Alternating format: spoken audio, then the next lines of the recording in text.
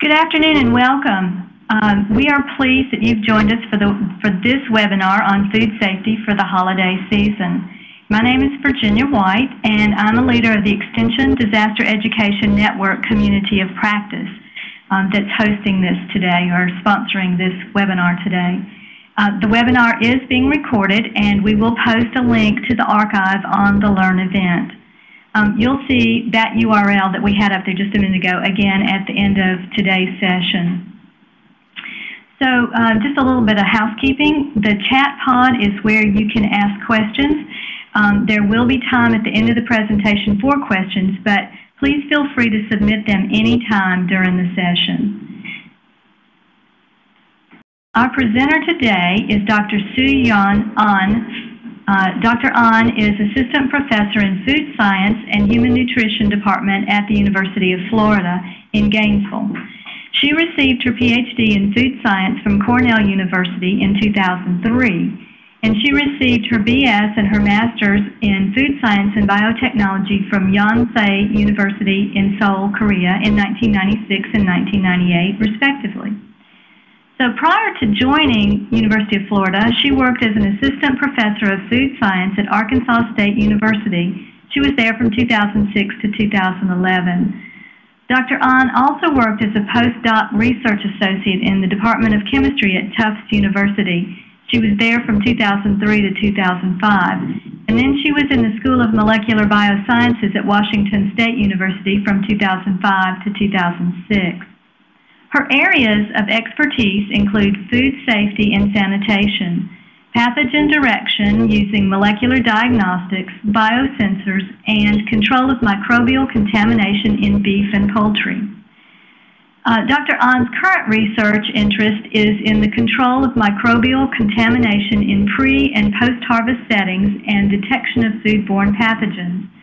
Dr. Ahn is a member of several scientific societies, including the Institute of Food Technologists and the International Association of Food Protection.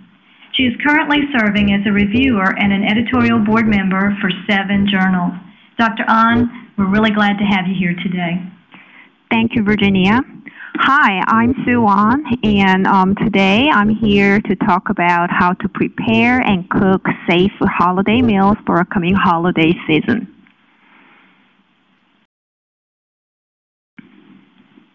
Food is always an important part of a holiday festivities. In parties, family dinners, and other gatherings, food is served as a part of the holiday cheer. But holiday meals can take a turn for the worse if food safety is not properly practiced in preparing and cooking the food. The food you serve your family and friends can be very harmful if your turkey, ham, or meatballs aren't handled safely or refrigerated promptly. The good news here is that by practicing basic food safety measures, you can help prevent foodborne illnesses.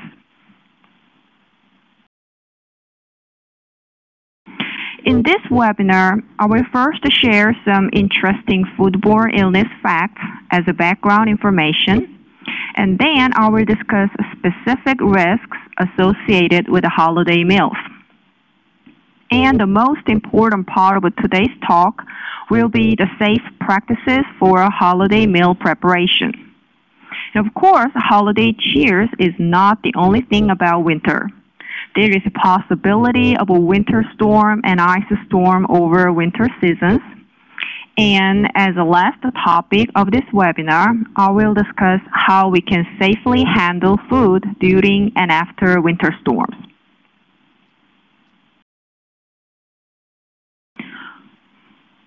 According to, oh, sorry. Okay. According to the most recent um, CDC estimation, every year there are 48 million illnesses and 130,000 hospitalizations caused by foodborne pathogens in the United States. And some of the severe cases can lead to deaths, and it is estimated 3,000 deaths occur in the U.S. every year due to foodborne illnesses.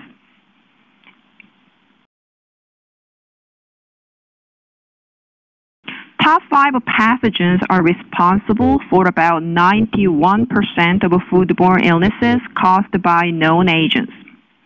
And some of these top 5 pathogens might be familiar names to you. Norovirus, Salmonella, and Staphylococcus aureus, Campylobacter, Clostridium perfringens. Especially, norovirus causes more than half of domestic foodborne illnesses. However, the most serious cases that require hospitalizations or that can result in deaths are still caused by bacterial agents, not by viruses. And there are agents that most people, um, um, these, uh, these, uh, the serious ones are the agents that most people are familiar with because you hear about them uh, from the news all the time. This table shows the number of cases, hospitalizations, and deaths with the rates of hospitalization and deaths for five major bacterial foodborne pathogens. Campylobacter, the major foodborne pathogen in poultry, and Listeria monocytogenes that have been historically associated with the deli meat, but now more more implicated with produce contamination, and Salmonella, which is the caustic agent of the most number of bacterial foodborne illnesses in the United States with more than 1 million cases per year. And Shiga toxin producing E. coli, including O157H7. These are top five major bacterial foodborne pathogens. And many of these pathogens have high hospitalization and death rates, and therefore they have been a great concern in food safety. And you would notice that even though the number of cases not that big in case of Listeria monocytogenes, they are still considered as a major foodborne pathogens because they have a high hospitalization rate and high death rate than any other pathogens. General symptoms of a foodborne illness start within 12 to 48 hours after ingestion and they last 2 to 10 days. However, um, their onset time and um, duration can vary um, um diverse. For example, um, Staph Staphylococcus aureus um, shows its symptoms as early as one hour after ingestion However, something like hepatitis A shows its symptoms 28 days after ingestion on average.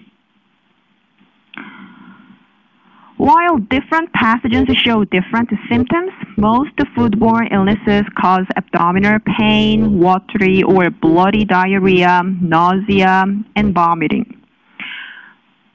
And some pathogens also cause fever too. Clostridium botulinum, which produces neurological toxin called botulinum toxin, can cause neurological symptoms, including muscle weakness, blurred or double vision, and in serious cases, respiratory failure and even death. Hepatitis A virus affects liver function and therefore causes symptoms such as jaundice and dark urine.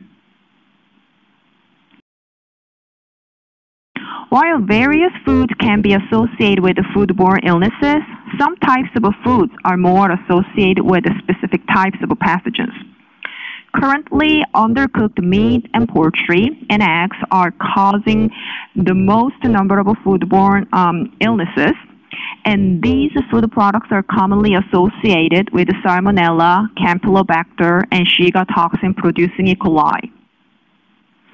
Fresh fruits and vegetables also account for approximately 35% of the entire U.S. foodborne illnesses. Other than these major food types, unpasteurized juice or raw milk, ready-to-eat meats such as deli meats and seafood, including shellfish, are considered as potential hazardous foods for foodborne illnesses. So, who are considered as at-risk groups for foodborne illnesses? Infants and young children are more at risk because their immune system are still developing. Likewise, the immune system of the older adults are not as strong as healthy adults, and therefore they are more susceptible to foodborne illnesses. Many older adults have chronic conditions, and this can further weaken their immune system. In addition, with aging, stomach acid decreases, and this can put older adults at higher risk for foodborne illnesses since stomach acid plays an important role in reducing the number of bacteria in the intestinal tract. Body changes during pregnancy and um, this can alter the mother's immune system as well, and therefore pregnant women are more susceptible to foodborne illnesses. Harmful bacteria can also cross the placenta and infect the unborn baby whose immune system is underdeveloped and therefore cannot fight infection. Foodborne illness during pregnancy is really serious since it can lead to miscarriage, premature delivery, stillbirth, and sickness or even death of a newborn baby. So all these people are considered as a high risk groups for foodborne illnesses.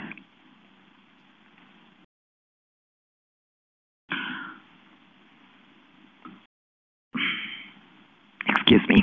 Additionally, the immune system of transplant patients and people with certain illnesses, um, such as AIDS, cancer, and diabetes, are often uh, weakened from these, their diseases or the side effects of the treatment and making them susceptible to many types of infections.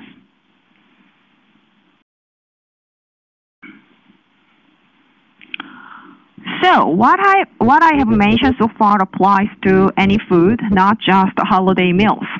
So what is different about holiday meals and why do we need to care about holiday food safety?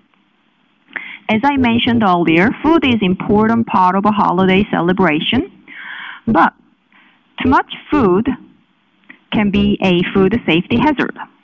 What do I mean by this? First, you are cooking for more people than usual, and cooking larger batch of food often can result in undercooking. And also think about holiday feast. You need to cook so many different dishes at the same time. When things get complicated, errors can occur. Even after the meal, you need to find appropriate storage places for all foods.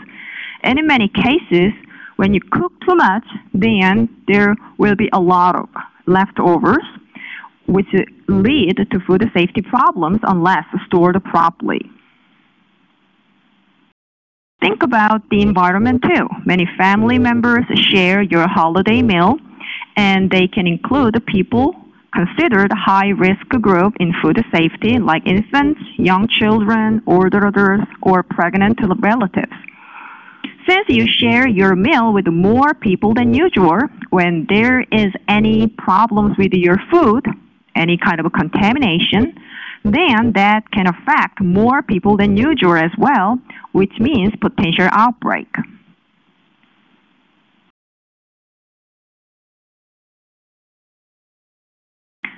Okay, last but not least, during the holiday season, you could send or receive many mail order food gifts, and some of these items are perishable, which deserve your good planning and care.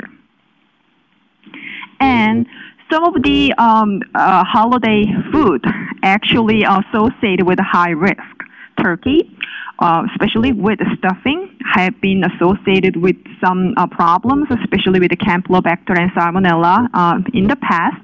So it needs to be cooked thoroughly and also eggnog, which um, use um, uh, eggs as main ingredients, also have been associated with the problems before. So I will talk about um, these two specific foods a little um, more detail later on.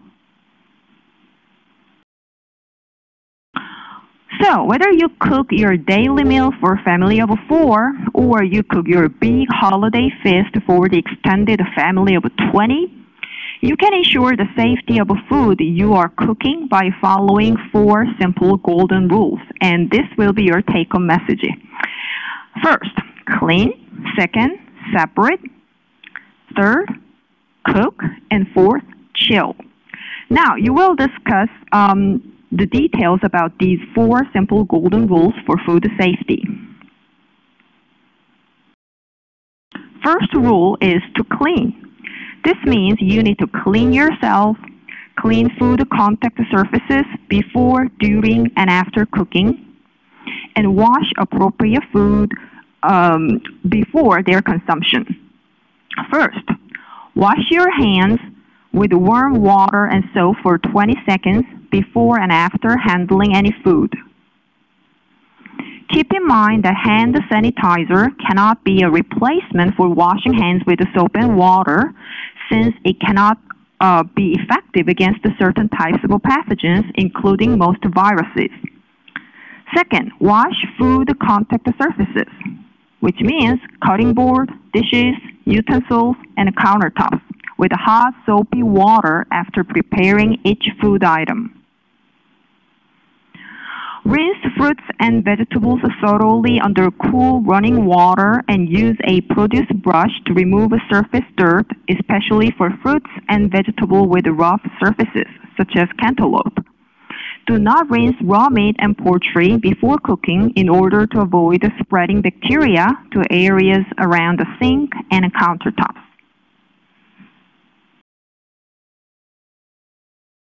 Second rule is to separate. When shopping in the store, storing food in the refrigerator at home, or preparing meals, keep foods that won't be cooked separate from raw eggs, raw meat, raw poultry, or seafood, and from kitchen utensils used for those products. Consider using one cutting board only for foods that will be cooked, such as raw meat, poultry, and seafood, and another one for those that will not be cooked, such as raw fruits and vegetables. And do not put cooked meats or other food that is ready to eat on an unwashed plate that has held any raw eggs, meat, poultry, seafood, or their juices. Also, keep fish and seafood, raw turkey, roast, um, uh, hams, or other meats and their juices separate from other side dishes when preparing meals to prevent any kind of a cross contamination. Third rule is to cook thoroughly. Cook meat and poultry to a safe minimum internal temperature. For example, turkey, stuffing, casseroles, and leftovers should be heated to 165 degrees Fahrenheit. Beef, veal, and lamb roast to 145 uh, degree Fahrenheit, and fully cooked ham to 140 degree, and fresh ham, pork, and egg dishes 260. When you measure the internal temperature, always use a food thermometer. And if um, chitlings are on your menu, then boil the chitlings for 5 minutes before cleaning and preparing them. To check a turkey for safety, insert a food thermometer into the innermost part of the thigh and wing and the thickest part of the breast. Because depending on where you put your thermometer into turkey, sometimes the reading can be quite different. The turkey is safe when the temperature reaches 165 degrees. If the turkey is stuffed, then temperature of the stuffing also should be 165 degrees.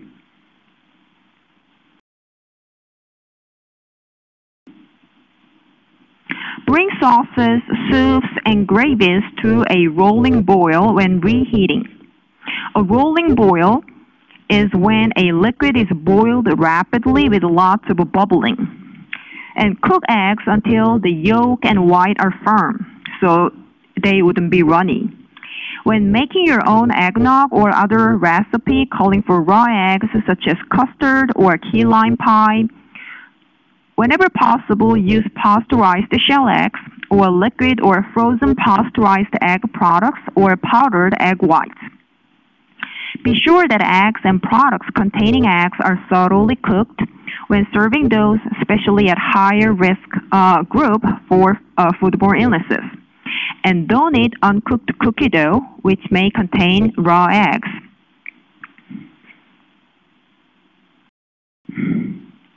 Fourth rule is to chill. And this is especially important for leftovers.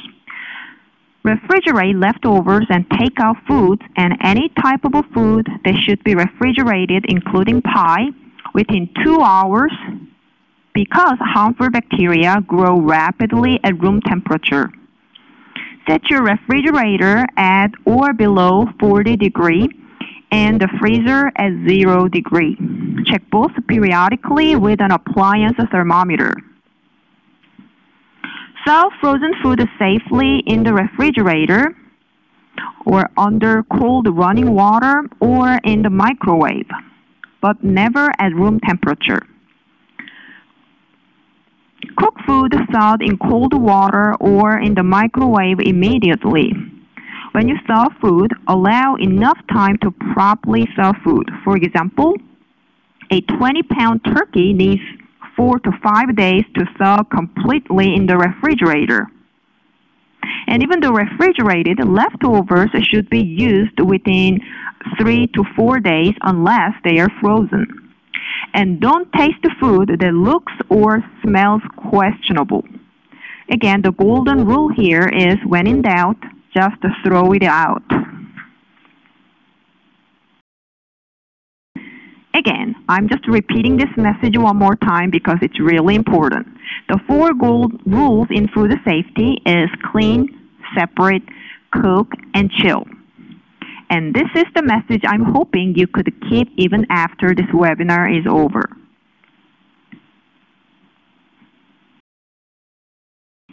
With convenience becoming more important uh, factor in shopping than ever, the ultimate time saver and convenience is home delivery of mail order food. However, ordering food um, through the mail may cause concerns about food safety. It's important to have a kind of a mental checklist for how food and packaging should look when mail order food arrive. Keep in mind that mail order foods must be carefully handled in a timely manner to prevent foodborne illness. When you receive an item, make sure the company sends perishable items like meat or poultry, are cold or frozen and packed with a cold source like a blue ice or dry ice. It should be packed in foam or heavy uh, corrugated cardboard. The food should be delivered as quickly as possible, ideally overnight. The outer package of the perishable items should be labeled keep refrigerated to alert the recipient. When you receive a food item marked keep refrigerated, open it immediately and check its temperature. The food should arrive frozen or partially frozen with ice crystals still visible or at least refrigerate, um, refrigerator cold, which means below 40 degree as measured with a food thermometer. Even if a product is smoked, cured, vacuum packaged, or fully cooked, it still is a perishable product and must be kept cold. If perishable food arrives warm, which means above 40 degrees measured with a thermometer, then notify the company and do not consume the food and do not even taste suspect food. Sometimes you need to ruin surprise for food safety. So um, even though you are sending um, some mail order food or uh, food you cooked as a gift, you still tell the recipient um, if the company had a promised a delivery date or alert the recipient that the gift is in the mail and on um, its way. So someone can be there to receive it. Don't have perishable items delivered to an office unless you know it will arrive on a work day and there is a refrigerator space available for keeping it cold. When you mail homemade food, make sure perishable foods are not held at temperatures between 40 and 140 degree, which is the so-called um, so-called danger zone, for longer than two hours. Pathogenic bacteria can grow rapidly in this danger zone, but they may not affect the taste, smell, or appearance of a food. In other words, you cannot tell that a food has been mishandled or is unsafe to eat just by looking at it or smelling it. Make sure your perishable items are packed properly by creating miniature deep freezing packaging using dry ice and cooler. And this is an example uh, from the government um, uh, website that how this miniature deep freeze packaging needs to be done. So you could get some ideas how your food needs to be packed when you're trying to ship it.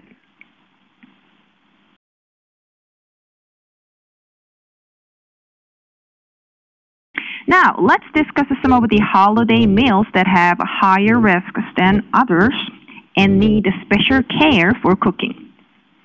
Holiday would not be perfect, or Thanksgiving especially, uh, would not be perfect without a big oven roasted turkey. However, to cook turkey safely, you need to make a good plan from its thawing to roasting.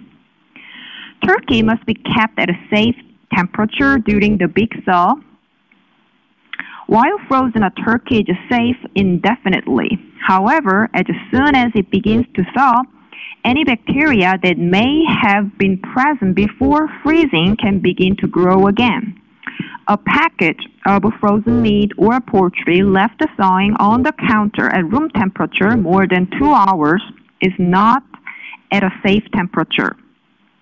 Even though the center of the package may still be frozen, the outer layer of the food is in the danger zone between 40 and 140 at a temperature where foodborne bacteria multiply rapidly.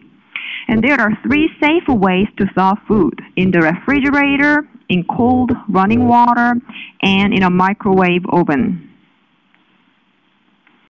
When thawing a turkey in the refrigerator, you need to plan ahead. Allow approximately 24 hours for each 4 to 5 pounds in a refrigerator set at 40 or below.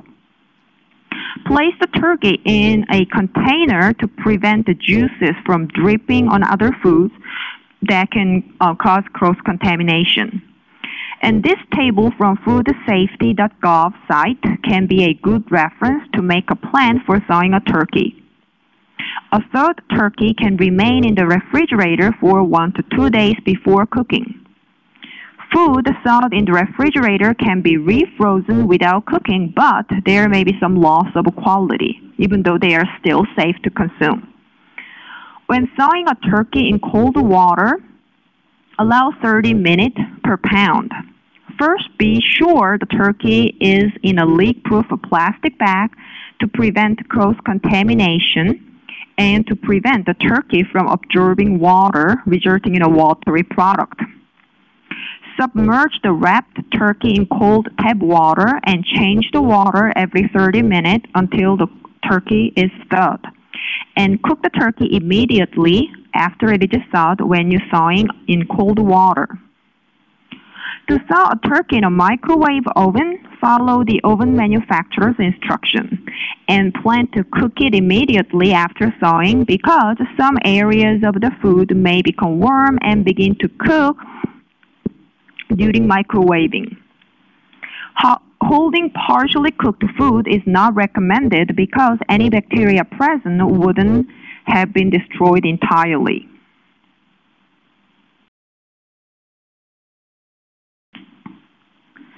For optimal safety and uniform doneness, cook stuffing separately. However, if you decide to stuff a turkey, it is essential to use a food thermometer to make sure the center of the stuffing reaches a safe minimum internal temperature of 165 degrees. Cooking a home stuffed turkey is riskier than cooking one not stuffed. Even if the turkey itself has reached the safe minimum internal temperature, as measured in the innermost part of the thigh, wing, the thickest part of the breast, as I mentioned earlier, the stuffing may not have reached a temperature high enough to destroy bacteria that may be present. Bacteria can survive in stuffing that has not reached 165 degrees, possibly resulting in foodborne illness. If you plan to prepare stuffing using raw meat, poultry, or shellfish, You should cook these ingredients before stuffing the turkey to reduce the risk of a foodborne illness from bacteria that may be found in raw ingredients. The wet ingredients for stuffing can be prepared ahead of time and refrigerated. However, do not mix wet and dry ingredients until just before spooning the stuffing mixture into the turkey cavity. Do not cool the stuffing. Spoon it directly into the turkey cavity right after preparation. And stuff the turkey loosely about um, 3 fourths cup of stuffing per pound. And stuffing should be moist, not dry, because heat destroys bacteria more rapidly in a moist environment. And immediately place the stuffed raw turkey in an oven set no lower than 325 degrees.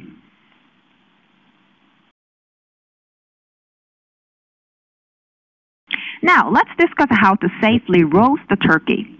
First, set the oven temperature no lower than 325 degrees. Preheating is not necessary. Before roasting, you should be sure the turkey is completely thawed, and times are based on fresh or thawed birds at a refrigerator temperature of 40 or below. Place turkey breast side up on a flat wire rack in a shallow roasting pan, about 2 to 2.5 inches deep. And you can optionally add 1 half cup water to the bottom of the pan. In the beginning, a tenth of aluminum foil may be placed loosely over the breast of the turkey for the first um, one to one and a half hours, then removed for browning or a tentable foil may be placed over the turkey after the turkey has reached the, the desired golden brown color. As I mentioned earlier in stuffing a turkey, it is optimal to cook stuffing in a casserole for food safety. However, if stuffing your turkey, mix ingredients just before stuffing it and stuff loosely. Again, for safety and doneness, the internal temperature should be checked with a food thermometer, and the temperature of the turkey and the center of stuffing must reach a safe minimum internal temperature of 165 degrees and do not remove the stuffing from the turkey before it reaches 165 degree because the undercooked stuffing could contaminate the cooked meat. And if the stuffing is inside the whole poultry then take the poultry out of the oven and let it stand 20 minutes before remove the stuffing. And refrigerate cooked poultry and stuffing within 2 hours Place leftovers in shallow containers and you must use them within 3 to 4 days. And reheat leftover also to a safe minimum internal temperature of 165 degrees. This table provides a reference for roasting time for stuffed and unstuffed turkey based on their size. Remember that the given times are based on fresh or thawed. Therefore, it is important to thaw the turkey completely before roasting because if it's not completely thawed, then it might need more time. And again, it's really hard to control, you know, just from the perspective of food safety. Homemade eggnog is a tradition in many families during the holiday season. But each year, this creamy drink causes many cases of um, salmonellosis the ingredient responsible, usually raw or undercooked eggs. And eggs are a standard ingredient in most homemade eggnog recipes, giving the beverage its characteristic frothy texture. So, um, to prevent this ingredient from causing harmful infections, you have to follow a safe food handling practices. FDA advises consumers to start with a cooked egg base for eggnog, and this is especially important if you are serving people at high risk for foodborne infections. To make a cooked egg base, combine eggs and half the milk as indicated in the recipe and cook the mixture gently to an internal temperature of 160. Stirring constantly. And that cooking will destroy salmonella if um, any present. Some people think that adding rum, whiskey, or other um, alcohol to the recipe will make the eggnog safe. But if contaminated unpasteurized eggs are used in eggnog, you can't count on the alcohol in the drink to kill all of the bacteria. That's not probably going to happen. And you can also use egg substitute or pasteurized eggs in your eggnog, and you can find a recipe um, even without any eggs, even though I'm not sure how um, tasty that would be. Uh, with the egg substitute products, you might have to experiment a little bit uh, with the recipe to figure out the right amount to add for the best flavor. Or pasteurized eggs can also be used in place of raw eggs for the recipe.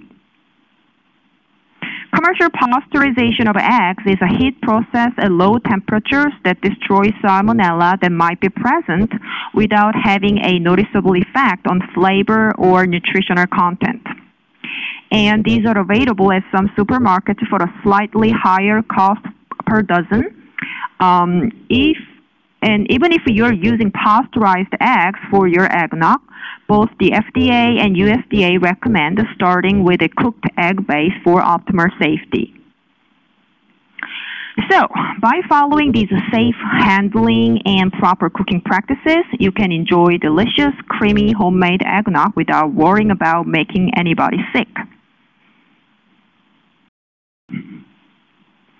Now, let's take a little different turn here. Holidays are a nice part of winter, but also there is a different side of winter too. During the cold winter season, you will expect to have one or two snowstorms unless you live in much milder climate. And why am I suddenly talking about winter storm here? Because the loss of power from snow or ice could jeopardize the safety of your food and knowing how to determine if food is safe and how to keep food safe will help minimize the potential loss of food and reduce the risk of foodborne illnesses during any winter storms.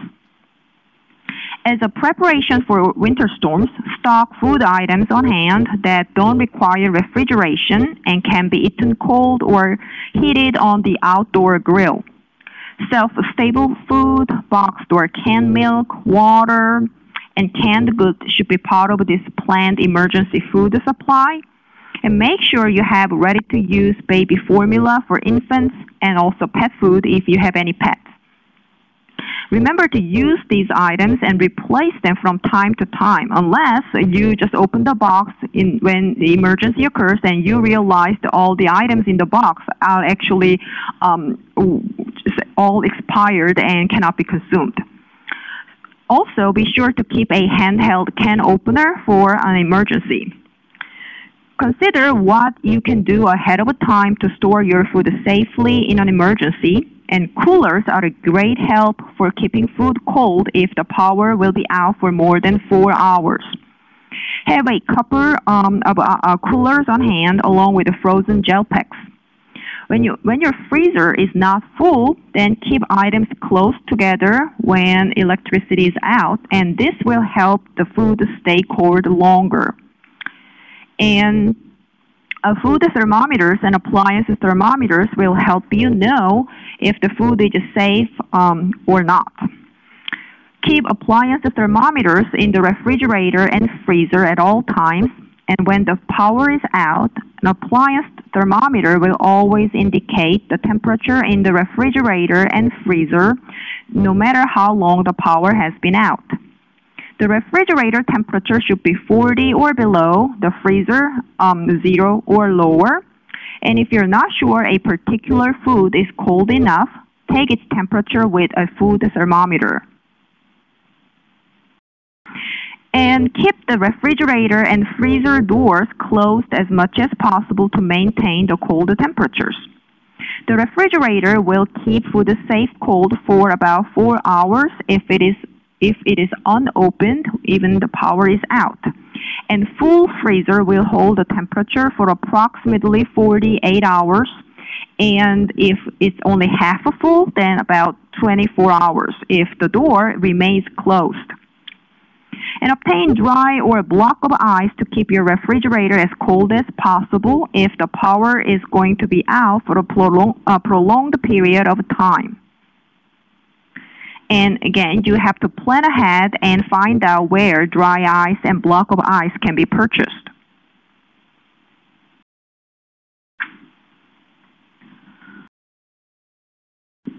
Now, during the power outages, keep the refrigerator and freezer doors closed as much as possible to maintain the cold temperature.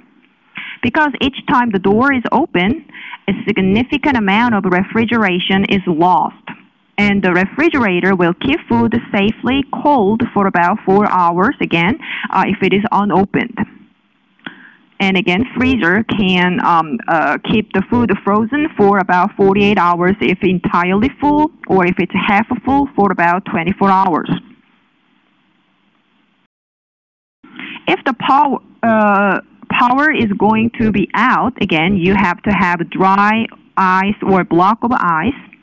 And 50 pounds of dry ice should hold about 18 cubic foot full freezer for two days and place meat and poultry to one side of the freezer or on a tray to prevent cross contamination of thawing juices when power is out. If the power has been out for several days, then check the temperature of the freezer with an appliance thermometer or food thermometer. If the food still contains ice crystals or it, uh, it, it is at 40 degree or below, then the food is safe. Discard refrigerated perishable food such as meat, poultry, fish, uh, milk, eggs, or leftovers after four hours without power. However, never taste the food to determine its safety.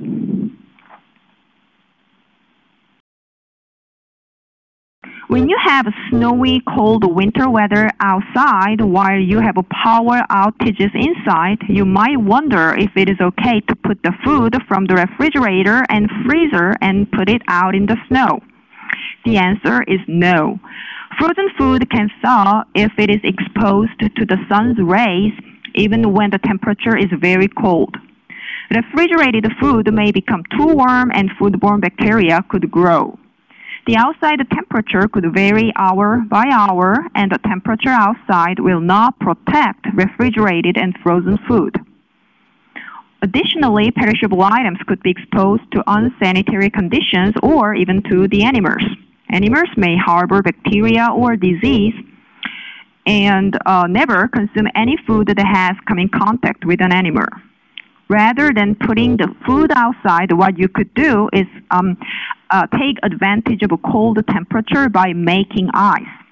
Fill buckets or empty milk cartons or cans with water and leave them outside to freeze, and then use that as a block of ice to keep your refrigerator, freezer, or coolers cold.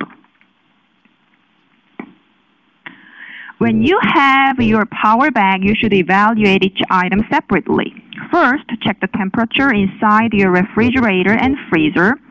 And if an appliance thermometer was kept in the freezer, then read the temperature when the power comes back on. If the appliance thermometer stored in the freezer reads 40 or below, then the food is safe and may be refrozen. If a thermometer has not been kept in the freezer, then you have to check each package of food to determine the safety. Again, remember that you cannot rely on its appearance or odor. If the food still contains ice crystals or it has a temperature of 40 or below by food thermometer, then it is safe to refreeze. Partial thawing and refreezing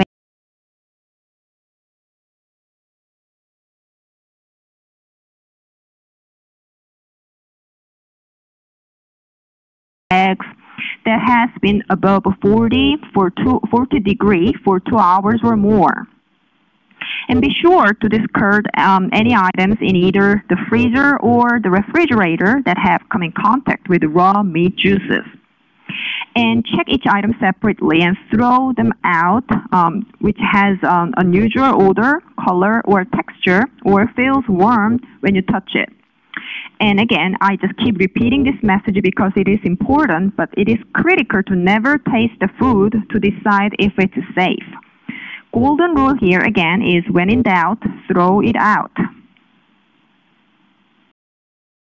In this webinar, we discussed holiday meal food safety and safe food handling practices during winter storms. And even though we discussed many topics, the most important things are four rules for food safety in your food preparation, which are clean, separate, cook, and chill. And when you have any doubt, then throw your food out. Again, this um, golden rules applies any type of food preparation, not just for holiday meals. And there are many great resources from government agency websites or public extension services and they are available online. You can find details about holiday food safety in the listed websites, and also um, there is a YouTube video about how to cook a turkey safely.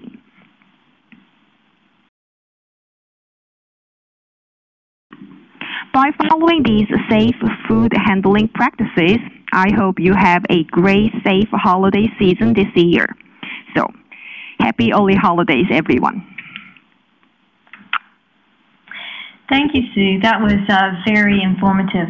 Um, while some folks are starting to type in their questions, I have one for you, um, and it, uh, it, it deals with uh, your four golden rules. Uh, it, and it is: Is there one of those rules that most people tend to forget that causes the foodborne illness or can lead to it? Um, surprisingly, um, uh, the uh, previous multiple studies about uh, people personal hygiene, a lot of people actually um, do not um, wash their hands, um, especially when whenever they change from one food item to another item, or they do not wash the cutting board after um, using um, the cutting board for raw meat. So, uh, surprisingly, actually, first rule to clean is something that people easily forget um, actually cook part um, or the chill part, I think they're um, relatively observed well. But um, clean and separate part, I think that's the part that people are easily forget or not very well following. Very good. Thank you. Um, Barbara has a question in the chat pod. She says, do you have any recommendations on best food thermometers? Hmm. Um, not really. Uh, there are many different types of uh, uh, uh, food thermometers, some are with the dials, some are um, um, digiters.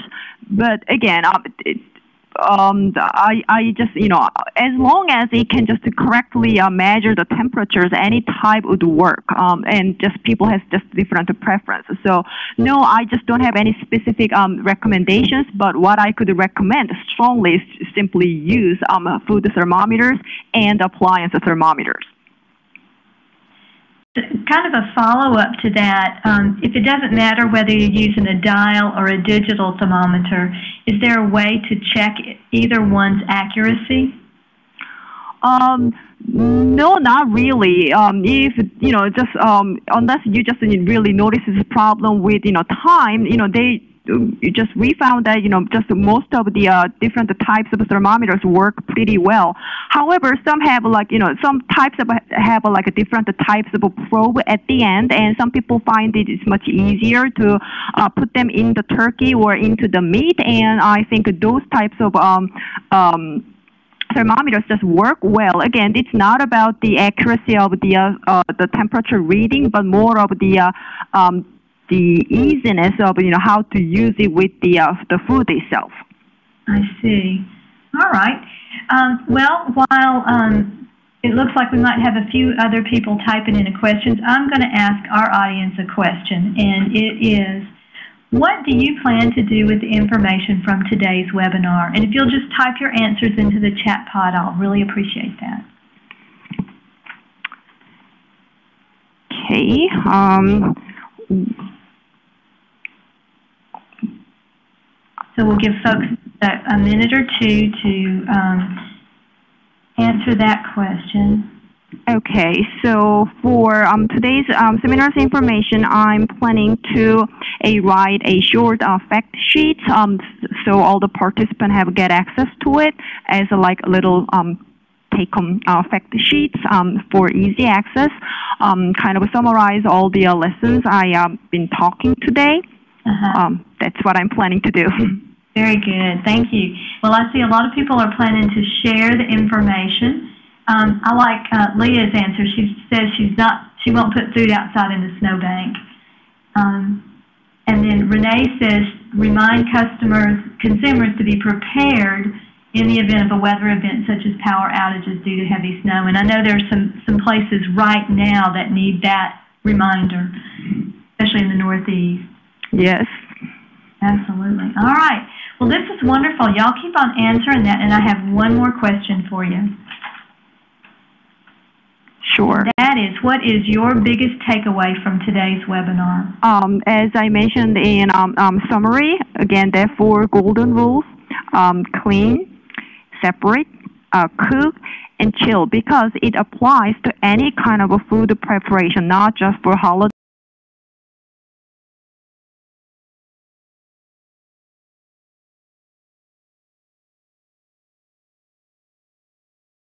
Just trying to test it on yourself. So um, that will be um, the most important message from today's webinar. Excellent. All right. And I see Lee says she's not planning to uh, cook stuffing in the turkey anymore.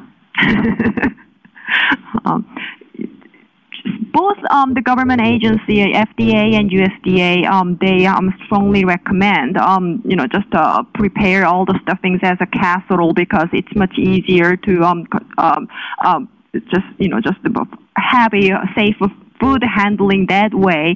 And when you just stuff a turkey, then you have to make sure that their temperature really reaches the safe internal temperature of 165, which a lot of people just, you know, forget to measure. So um, as long as you stick by that, you know, just the recommendations, I think still stuffing the turkey can be safe. However, there are more um, cares you need to give when you just cook um, your turkey. I see. Well, that's that's uh, really good. Um, seems to me like it's a lot harder to do that. I like the casserole idea myself. so, all right. Well, thank you very much, Sue. Um, I have a couple of little advertisements I want to share with everybody. Um, and these, I say, um, are advertisements, but they're just mentions of mentions of some resources offered by um, Extension Disaster Ed Education Network. Um, this is our website. Uh, you can find a wealth of resources for teaching people how to reduce the impact of disasters, whether it's on food safety or um, in, uh, several other um, topics you can find on the Eden website. We also are um, uh, in e-extension, we have several resources for homeowners and others um, including information about floods and flood recovery, avian influenza, drought, and agricultural disaster preparedness and recovery. Um, and do you have uh, social media accounts? We do. So we'd appreciate it if you'd follow us and contribute to the conversations on Facebook, Twitter, Google+, Pinterest, and YouTube. And the last thing I want to say to you is that I hope uh, this has been uh, a good webinar for you. I, I learned uh, several things again today. Um, and I'd like for you, if you have the chance, to join us for our next and final uh, webinar for 2014. That will be on December the 4th at 1 o'clock Central Time. Doctors Mike Gaffney and Alan Ladd uh, will join us to talk about what we need to do to, be, to be prepared for winter. I do hope you can join us then, and I thank you so much for joining us today. Have a great rest of the afternoon.